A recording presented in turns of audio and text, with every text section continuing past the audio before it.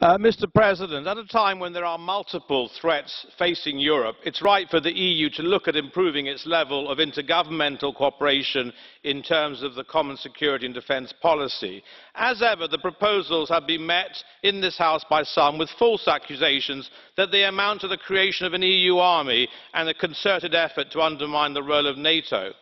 The roots of the CSDP have always rested upon the absolute respect for the member states' sovereignty in this key area of national policy and acknowledging NATO as the mainstay of European defence. The conclusions of the most recent Foreign Affairs Council uphold these key principles and its support for strengthening Europe's industrial defence base, eliminating duplication and waste in certain areas of procurement and exploring the possibility of greater levels of integration militarily for those member states that are willing to do so under the pesco are all to be welcomed and respect the principles of sovereignty. the eunavfor atalanta mission stands as a strong example of what cooperation at eu level can achieve bringing together member states' defence capabilities alongside the eu's unique soft and hard power capabilities was able to deliver a comprehensive defeat of piracy in the indian ocean and most importantly nato welcomed this cooperation and of course it was commanded by uh, the royal navy